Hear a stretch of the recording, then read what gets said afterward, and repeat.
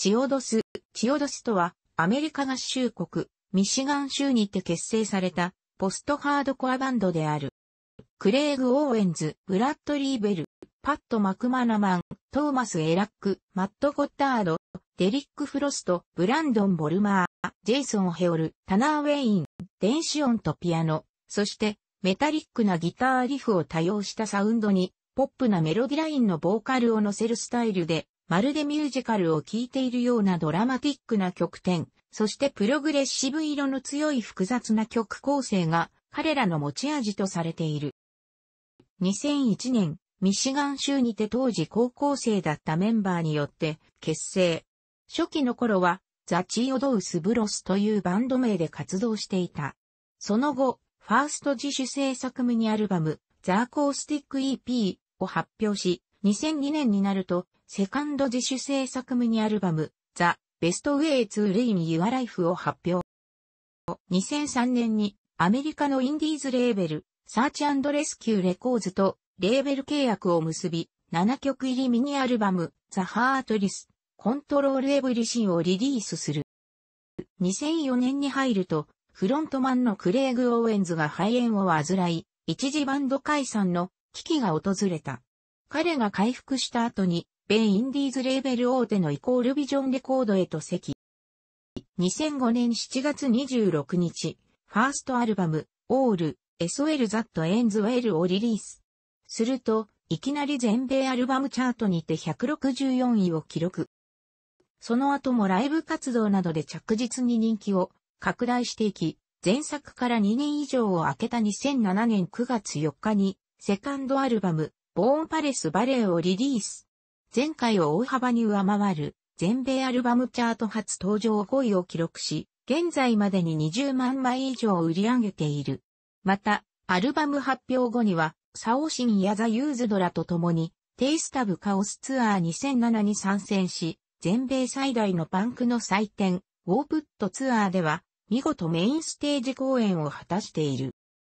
アルバムの成功も相まってバンドとしての人気も絶頂を迎えていた2008年7月20日、フロントマンのクレイグ・オーウェンズが精神は安定剤の大量摂取、オーバードースを行い病院に搬送さる。しかし幸いにもその後回復。2008年10月28日、セカンドアルバムに新曲をプラスしたボーンパレスバレー、グランドコーダをリリース。2009年2月には、アリサーナ36クレイジフィスツと共に、日本へツアー来日を果たし、3月には、日本国内版のボーンパレスバレー、グランドコーダが、ワーナーミュージックジャパンより発売され、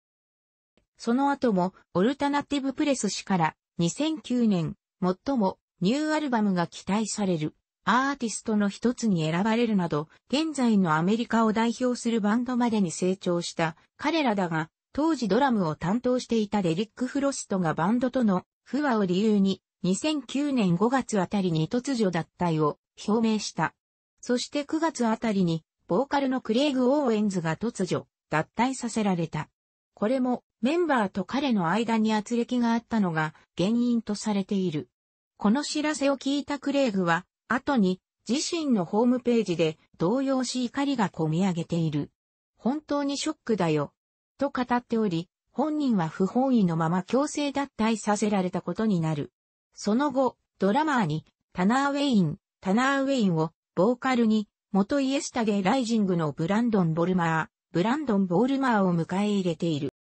2010年10月5日には、サードアルバム、ルーメナディオがリリースされた。全米アルバムチャートでは初登場37位を記録。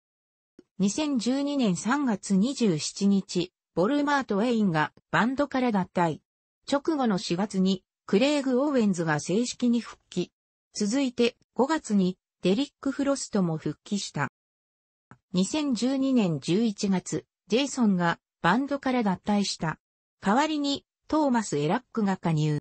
ファーストアルバム、オール、S Well That Ends Well からは、2005年に自主制作で、オールにリズベワレ、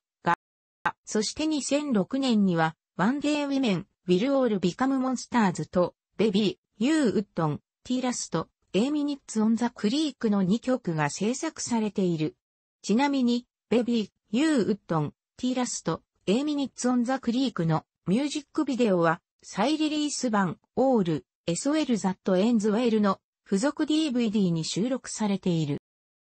セカンドアルバム、 Bone Palace Ballet からは、 Lexington のミュージックビデオが、アルバムの発売から少し遅れた2008年4月2日に、インターネット上発表された。なおメンバーたちは、このビデオの出来に不満を持っていたとのこと。このことは、後に、ドラマーのデリックがインタビューで明かしている。そして、2008年12月20日にザ・アンダーテイカー、S、サースとフォーリベンジーズ・アンク・エンチブルのミュージックビデオが発表されている。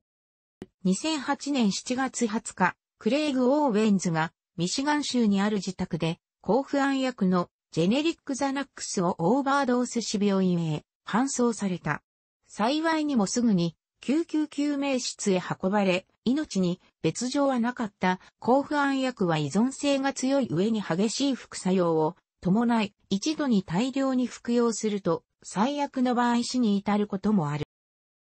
彼がオーバードースを行った原因は、持病の躁うつ病の悪化に耐えられなくなったためではないかと言われている。退院後も目立った後遺症などはなく、すぐにバンドのツアーに復帰した。